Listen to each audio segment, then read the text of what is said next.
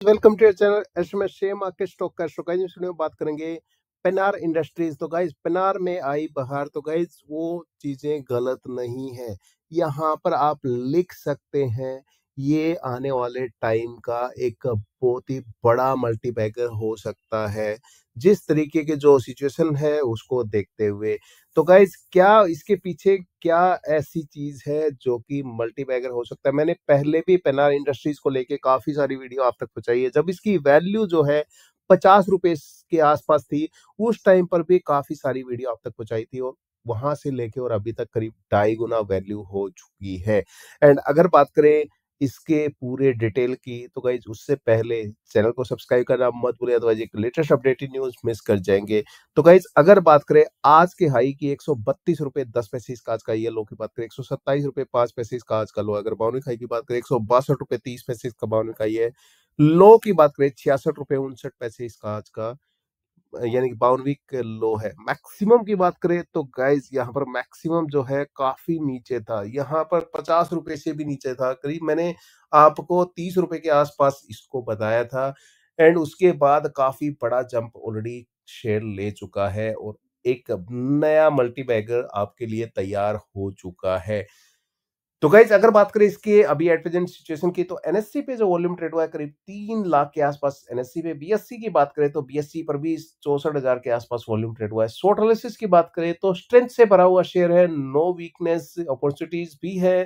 Threat थोड़ा सा है, क्योंकि नॉन कोर इनकम जो है, वो increasing trend in non core income जो कि जो इसकी कोर इनकम है, वो कम है, जो कि नॉन कोर इनकम है, वो ज़्यादा है। तो गाइज़ यहाँ पर स्ट्रेंथ की बात करें तेरह स्ट्रेंथ है, ज़ीरो वीकनेस है।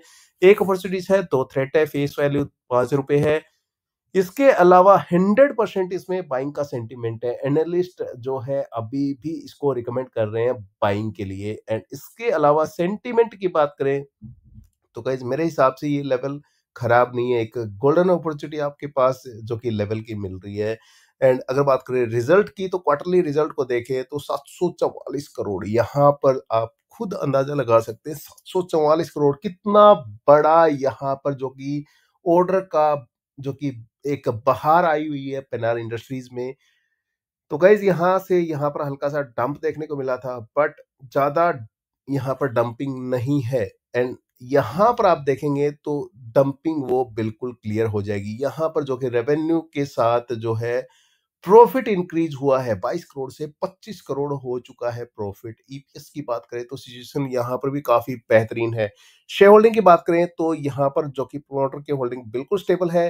नो डाउट की प्लेज है 2.8 परसेंट की पास एंड एफ़ की बात करें होल्डिंग को डिक्रीज किया गया है डीआईए की बात करें होल्डिंग को इंक्रीज किया गया है। पब्लिक की बात करें पब्लिक का होल्डिंग यहाँ पर जो कि इंक्रीज हुई है। अदर्स की बात करें तो होल्डिंग यहाँ पर जो कि दोबारा आई है पॉइंट ज़ीरो वन परसेंट के साथ दिसंबर क्वार्टर में। इसके अलावा म्यूचुअल फंड की बात करें एफ़ की बात करें, पॉइंट थ्री एट परसेंट के साथ डिक्रीज हुई है। Holding JSW, Tata steel, Hindalco, Jindal steel, इसकी पेश कंपनियाँ मार्केट में मौजूद हैं।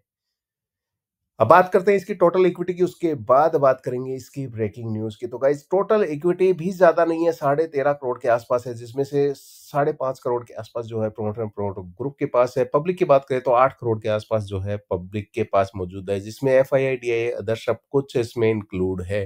एंड अगर बात करें इसके लेटर की तो गाइज़ एक लेटर दिया है यहाँ पर जो कि चार तारीख को एंड बीएससी और एनएससी को एंड इसमें क्लेरिफिकेशन है, कुछ शेयर जो है वो यहाँ पर जो कि प्रोमोटर से पब्लिक में रिक्लासिफिकेशन के लिए यहाँ पर दिए गए थे जो कि अप्रूवल के लिए दिया गया था, उसका अप्रूवल आ चुका है।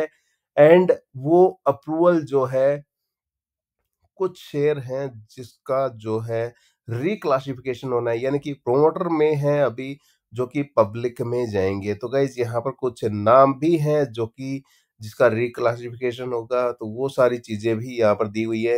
एंड टोटल इक्विटी की बात करें तो गाइज़ प्री रिक्लासिफिकेशन जो है, साठ पॉइंट छब्बीस परसेंट है एंड उस पोस्ट रिक्लासिफिकेशन के बाद जो है, साठ पॉइंट इकतालीस परसेंट हो जाएँगे। यानी कि जो कि नंबर ऑफ़ जो कि जो कि पब्लिक प्लस जो प्रोमोटर है प्रोमोटर थोड़ा सा डिक्रीज हो जाएगा thirty nine point five nine percent हो जाएगा। एंड जो पब्लिक है, वो इंक्रीज हो जाएगी। तो गाइज़ ये रिक्लासिफिकेशन जो कि इसके लिए अप्रूवल आ चुका है। तो गाइज़ ये लेटर है, ये लेटर दिया गया जिसमें से जो कि वाई रेखा राव के जो है, जो शेयर है, कुछ निन्यानवे हज़ार के आसपास, वो डिक्रीज होंगे। वाई मुरलीधर राव के भी डिक्रीज होंगे। इसके अलावा जो है फोर्ट कोची होल्डिंग के ज़ीरो है।